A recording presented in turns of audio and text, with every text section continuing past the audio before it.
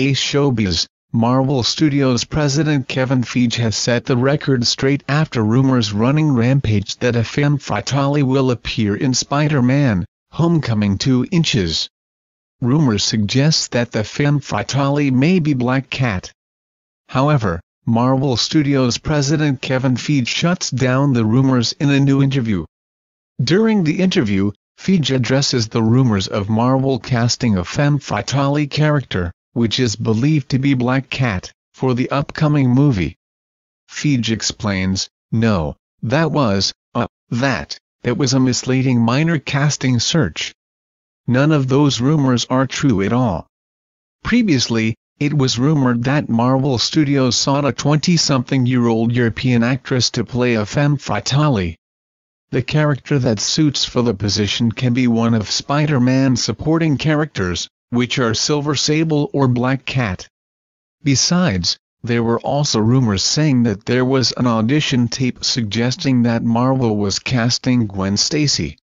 Now that Feige shuts the rumors down regarding Black Cat's appearance in the sequel, it is unclear whether or not Gwen Stacy, who has love affair with Peter Parker aka Spider-Man as in the original movie, will appear in Spider-Man, Homecoming 2 inches. One certain thing is that the sequel will take place around the world and that the filming will start in early July. Feige previously said, we film in London. We shot first film in Atlanta.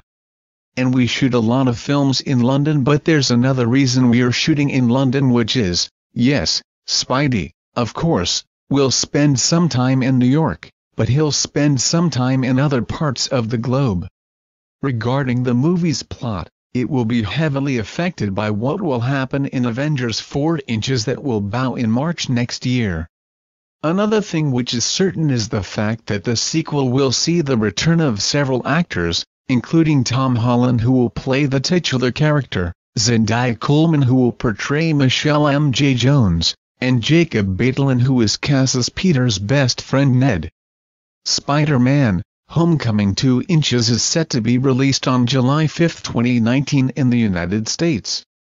Homecoming aside, Sony is developing a Spider-Man, Homecoming spin-off entitled Silver Sable and the Black Cat Project. The movie will feature Spider-Man allies Silver Sable and Black Cat teaming up. Gina Prince Bythewood directs the spin-off based on a new script written by Geneva Robertson Dworet and Lindsey Beer.